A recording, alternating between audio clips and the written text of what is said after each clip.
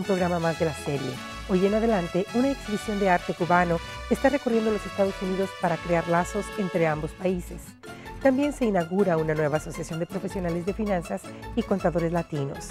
Y Marlene Castillo de Harris Bank habla sobre oportunidades en préstamos hipotecarios para las familias de medianos y bajos ingresos. Gracias a los esfuerzos de la Universidad de Carolina del Norte y Vigía, una pequeña editorial cubana, 13 artistas cubanos lograron montar una exhibición que ahora recorre los Estados Unidos con el fin de crear lazos entre ambos países. Veamos este reportaje de Johnny Muñoz desde Latino Arts en United Community Center.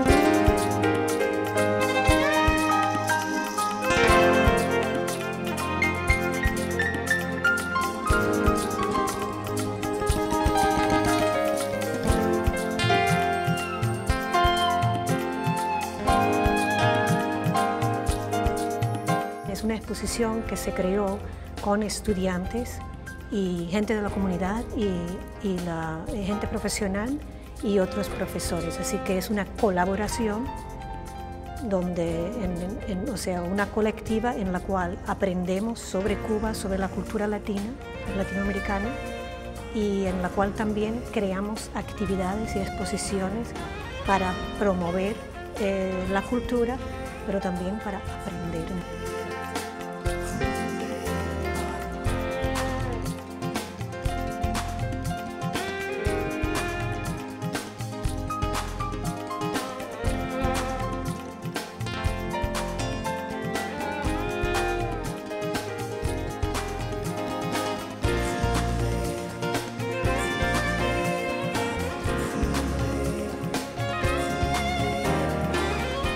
Llevaba a mis estudiantes en un programa académico a La Habana y a Matanzas. Eh, mis estudiantes estudiaban en la Universidad de La Habana y también hacían proyectos con niños y trabajábamos con las ediciones Vigía, esta editorial. Y empezamos a hacer libros con ellos, libros a mano, que ellos aprendimos a mm, colaborar con ellos, hacíamos traducciones, empezamos a trabajar con ellos. En el primer proyecto que hicimos, como trabajamos con niños en La Habana también, leyendo cuentos de Martí, cuentos que escribió Martí para niños, hicimos una edición bilingüe de estos cuentos y regalamos el libro, hicimos el libro con vigía a mano y regalamos el libro a los niños de La Habana.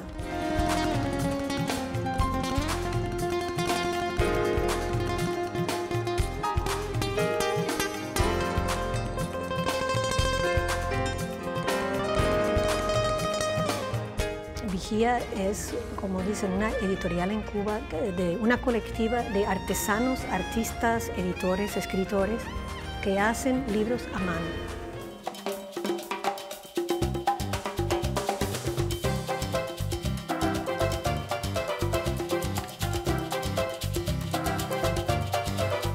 Al principio empezaron como un proyecto semi-independiente para publicar eh, escritores jóvenes que no tenían representación, que no tenían dónde publicar.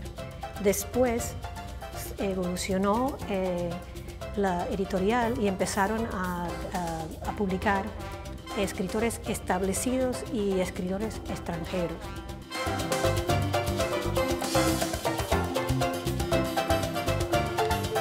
Y nos dio también la idea de trabajar con artistas en Cuba, artistas que podrían hacer libros, libros eh, creativos y posiblemente en el futuro trabajar con Vigía, hacer una colaboración entre artistas cubanos y Vigía. Bueno, los artistas hicieron unos libros tan bonitos, tridimensionales, tan complejos, que Vigía decidió que no podían copiar, no, podían hacer la misma cosa, 200 eh, ejemplares del mismo libro.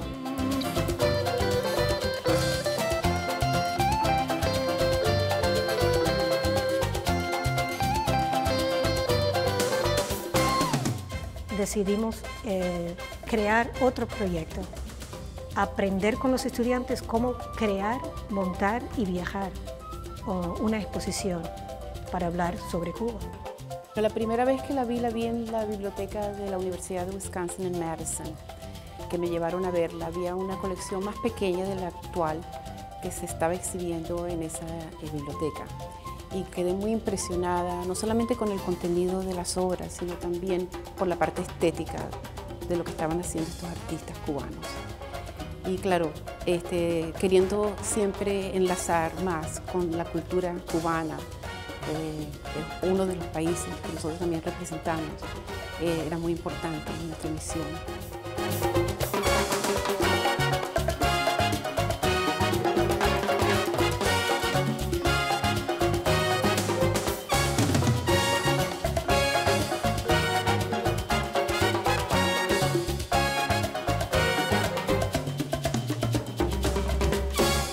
La mayoría de los artistas que participan en esta, en esta exposición son artistas que se han graduado de las mejores escuelas en Cuba, porque Cuba tiene una, centralización, la organización de las escuelas y los niños los escogen muchas veces, los escogen cuando están en la escuela primaria, si tienen talento.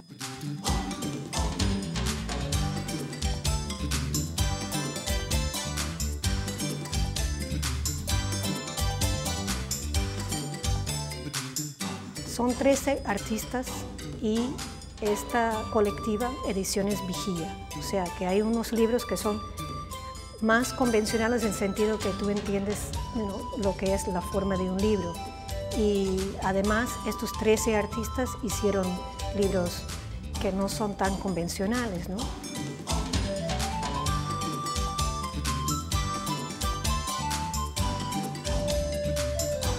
Los mensajes son bastante universales y hay mucha variedad. Hay mensajes sobre el amor, mensajes sobre, un poco sobre la política también en algunos casos, un sueño un poco surrealista, un libro trata de eso. En el caso, como expliqué un poco antes, hay artistas, eh, escritores internacionales representados aquí con sus obras muy conocidas.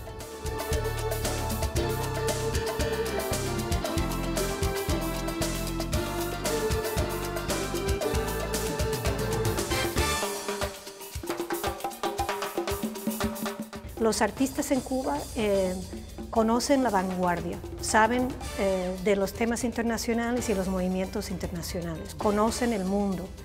Al mismo tiempo no pueden dejar de ser cubanos y se ve que se expresan, hablan un poco de su identidad aquí. Importante que vean que es parte de la identidad cubana, o sea que no tiene que ver simplemente con una expresión política, sino que es una expresión artística, tiene que ver con el poder de la imaginación y Lenda lo dice en su catálogo, ¿no? y que esto es acerca de, la flexibilidad, de la creatividad y también este, del poder de la imaginación que estos artistas están representando en sus obras.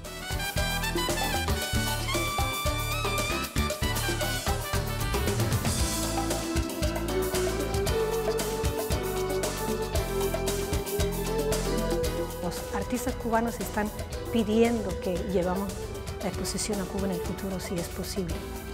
Porque estas cosas que expresan aquí también se expresan en Cuba.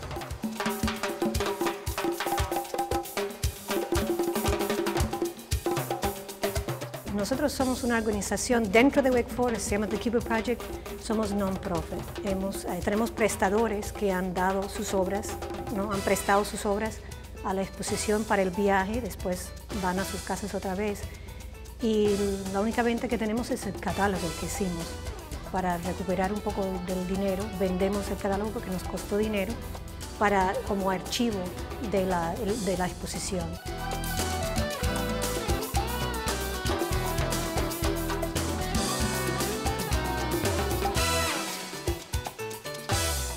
Yo creo que tenemos mucho apoyo de la administración de Wake Forest, porque cuando ellos ven que hay gente loca, apasionada, que hacen proyectos muy bonitos, apoyan los proyectos y tengo que dar gracias también a la universidad, universidad por eso. Nos dejan, nos permiten hacer, tener cursos un poco extraños, fuera de lo normal en este sentido, para trabajar con estudiantes en proyectos. En vez de solamente tener un curso con exámenes, los estudiantes tienen que eh, aprender hacer cosas, hacer exposiciones, aprender sobre Cuba, la historia de Latinoamérica, para poder trabajar con las obras, tenían que también aprender algo sobre los artistas y sobre la editorial de Vigía. Entonces, yo creo que la universidad, muchas universidades están cambiando y están aceptando esas ideas de trabajar más eh, en el mundo y con el mundo.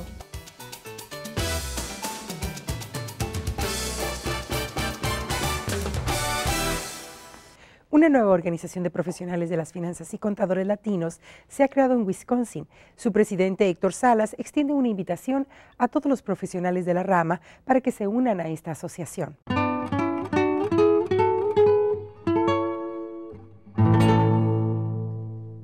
Héctor, gracias por estar con nosotros en adelante. Muchas gracias por tenerme, fue un placer venir. Platícanos cómo se originó la idea de crear esta asociación de profesionales, contadores, en finanzas y en relaciones con negocios? Eh, fue bien simple. Había una necesidad aquí en la ciudad de uh, Milwaukee, Wisconsin. Hablaron con la compañía Ernst Young. El partner Michael Leonardson fue una buena persona que los pudo ayudar a conectar con la propiedad gente y este, hablamos con muchos uh, profesionales como yo y uh, empezamos. Y no otra vez vimos que había una necesidad aquí en Milwaukee para algo así. Muy bien, ¿cuántos miembros tienen hasta ahora? 40, ah, tenemos 45 miembros y 25 de esos miembros son activos. Muy bien. ¿Cuál es la misión eh, principal que tiene la organización? Lo más fácil que lo puedo explicar es que nosotros estamos poniéndonos atención, tratando de crear líderes pero a la misma vez uh, cambiando la cara de, de, negocios, poniendo más latinos en, en, posiciones más altas como vicepresidente o, o, si quieren ser miembros de un board uh, o, o, CEO, CFOs. Qué bien, qué interesante. Y dime una cosa, eh, ¿de qué manera están ahora organizándose para llevar a cabo actividades que los conduzcan a crear nuevos líderes en el área de los negocios? Bien fácil, simplemente sabemos que si ponen dos cabezas juntas, se pone una tercera y más grande mejor. So, tratamos de poner todo el mundo junto. Um, cogemos dos miembros y tratamos de hacer este, eh, eh, como poner las mentes juntas para, uh, como se llama, networking. y, otra área que estamos ah, trabajando es buscando otros profesionales, los pocos que son en los Estados Unidos, porque la asociación es no solamente aquí en Milwaukee, estamos en los Estados Unidos y buscamos a líderes que ya están en posiciones fuertes para venir para atrás y hablar, para enseñarle a la gente como el paso que ellos cogieron, para que sea más fácil para personas como yo, ah, para ser como ellos, uh, pero simplemente, como te digo, uh, platicando con ellos y ¿Cuánto tiempo tienen ah, que empezaron a, eh, correr los trámites para formar esta organización y qué se necesita para formar una organización como la de ustedes? Este, nosotros estamos ya este, casi más de 35 años en los Estados Unidos. Somos los más grandes, los más viejos ah, ah, y los más, este, eh, los más eh, creciendo lo más rápido de, de, todas las organizaciones latinos. En Milwaukee fue bien fácil, simplemente hay que buscar una necesidad y, y por lo mínimo tener 25 miembros um, para, eh, por, para ponerse en, en, mente con una organización aquí como en Milwaukee. so, en octubre de 2009 había 25 profesionales que quisieron este, una organización uh, como los otros. Y así, así como se fue. Acaba de nacer entonces. Yeah, sí, aquí en Milwaukee, pero también este, hay una diferencia con esos dos. Tenemos también este, para los estudiantes, o tenemos este, organizaciones de estudiantes en UWM y ahorita tenemos una que se va a abrir pronto en Marquette University. Y, um, y eso solamente necesitan 10 estudiantes que ven que ellos necesitan la oportunidad. Muy bien, ¿qué tipo de actividades han llevado a cabo o están pensando llevar a cabo para también eh, conseguir las metas que ustedes están planeando?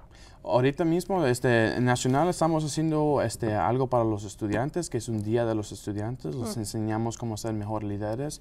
Tenemos un día de líderes, donde vienen y aprenden todos los profesionales a ser un líder. Y después tenemos uno dedicadamente um, para las mujeres. Y tenemos un día para, o pueden ser dos días para las mujeres, um, para que se pongan todas las mujeres juntas y aprendan cómo pueden las mujeres este, también se, mejorarse en el mundo. Y último, tenemos oportunidades para ayudar a nuestra comunidad. Se llama el programa Alpha Cares. y, y, lo que hace ese programa es cogemos los estudiantes y profesionales como yo y vamos en la comunidad y ayudamos. Muy bien. ¿Qué necesita una persona para poder ser parte de la asociación eh, de profesionales de las finanzas, de la contabilidad y negocios relacionados? ¿Y cuánto cuesta? Dos cosas. Número uno, no tiene que ser uno latino ah, o ni tampoco ser en esas áreas. Pero si ellos eh, es una persona que ven algo en nosotros y quieren ser parte de lo que estamos haciendo, eso es número uno. Número dos, este, ah, el, el, costo de profesionales son 120, pero eso te da un montón de, oportunidades como este acceso de, del internet, Career Center, um, los, los, eventos y también tenemos este para los estudiantes solamente 20 dólares para ellos. O sea, un costo que los estudiantes puedan manejar durante el tiempo en que todavía no tienen ingresos como un profesional. Muy bien. ¿A dónde la gente puede comunicarse, Héctor, para estar en comunicación con ustedes o para pedir información o para pedir una solicitud y registrarse como miembros de la asociación? Aquí tenemos una uh, en Milwaukee, um, Alpha alphamilwaukee.org o alphamilwaukee.org y eso es el website de los otros o si quieren más fácil um, este alpha.org y eso te lleva a la um, al, web de, la nación, so, no solamente para Milwaukee, so, otra vez es alpha.org o alphamilwaukee.org. Y ahí van a encontrar la solicitud, cómo eh, eh, llenarla y cómo seguir los pasos para poder ser miembros de la asociación. Y más importante, cómo se pueden comunicar con una persona como yo para platicar más. Héctor, pues te felicitamos muchísimo por este acontecimiento y te damos las gracias por estar con nosotros. Esperamos estar muy pronto en algunos de sus eventos para traerle más información a nuestra audiencia. Muchas gracias. Thank you. Gracias a ti.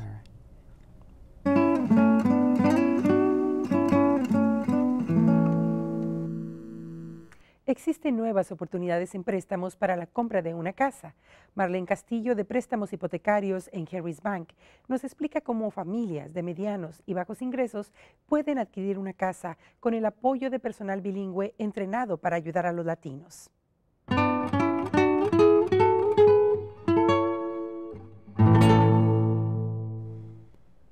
Marlene, gracias por estar con nosotros en adelante.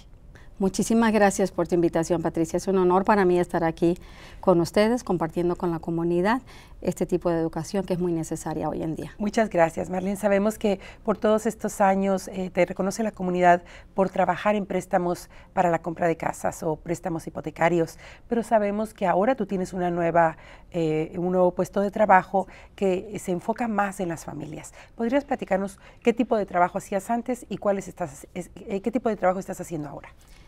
Eh, la diferencia en el tipo de trabajo que hacía antes, ahora Patricia, eh, básicamente sigo enfocándome en lo mismo, en todo lo que tenga que ver con préstamos hipotecarios, en todo lo que tenga que ver ayudando a la comunidad, especialmente las familias de bajos a moderados ingresos.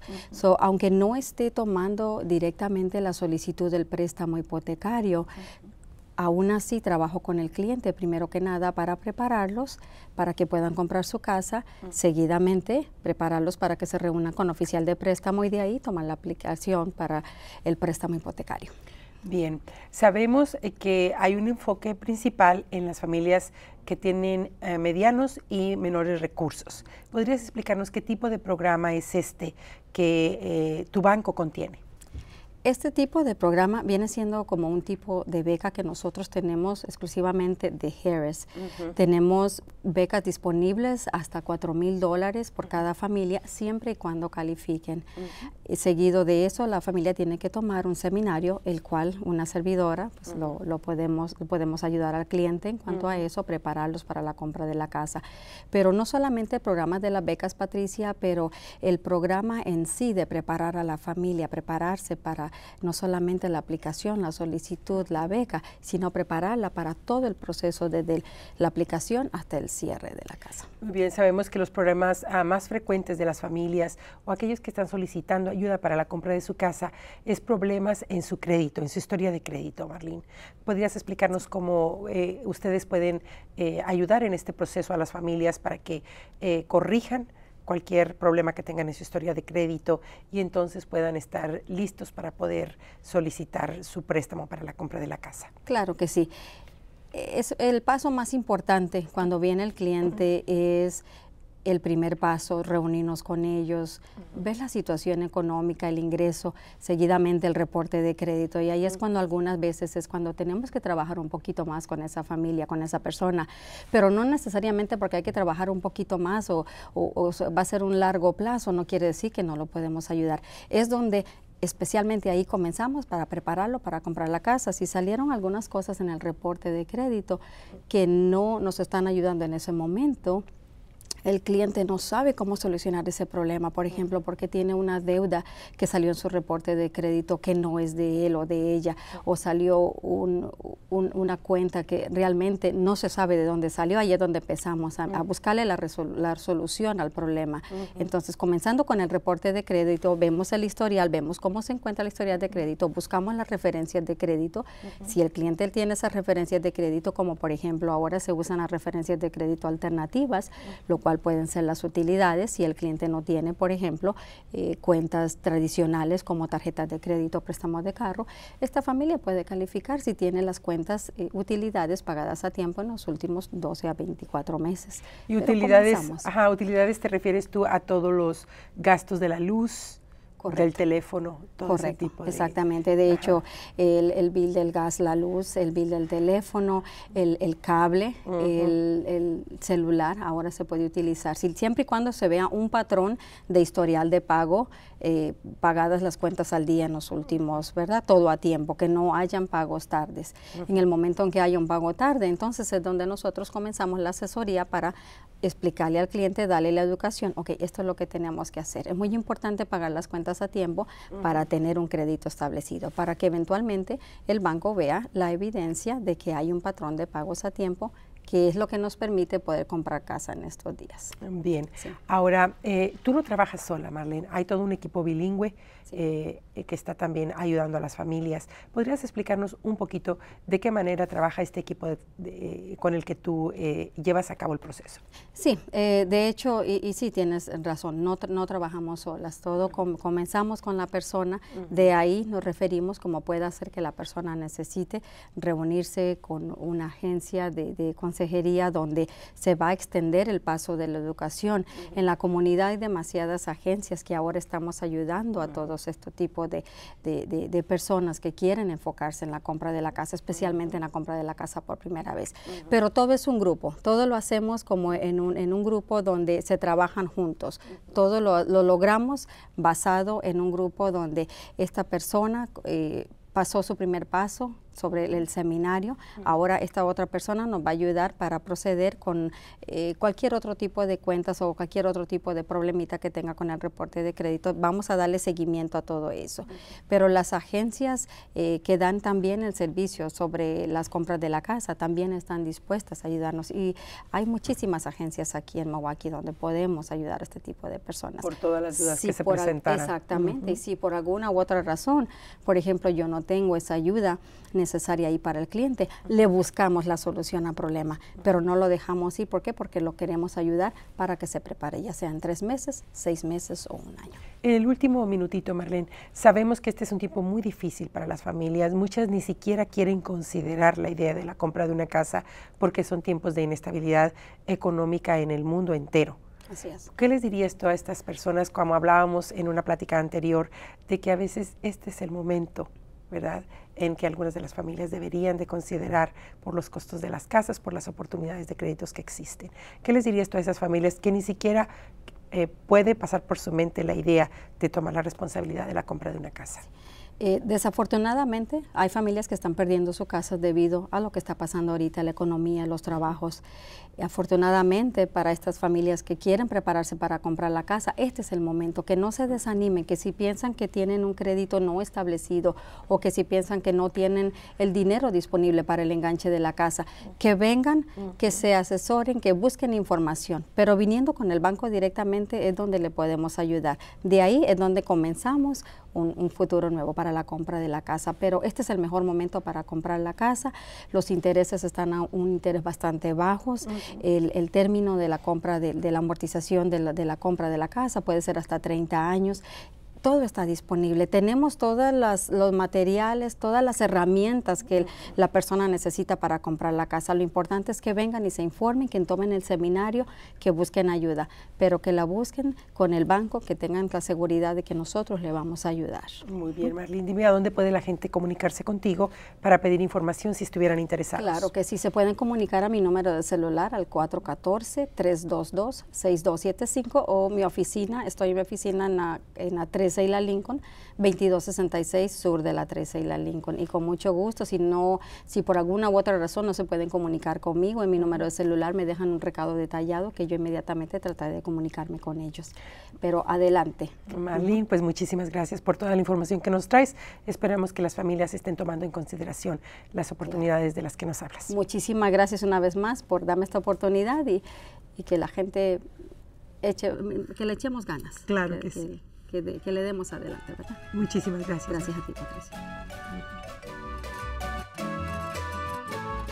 Al final de un programa más, por favor déjenos saber sus comentarios en nuestro teléfono 297-7544 o escríbanos a nuestra dirección de correo electrónico en adelante.matc.edu y visítenos en nuestro sitio de internet en mptv.org. Sintonícenos en canal 10.1 HD todos los martes a las 6.30 de la tarde y en canal 36.1 DT los miércoles a las 12.30 de la medianoche y los domingos a las 5.30 de la tarde. Soy Patricia Gómez, muy buenas noches.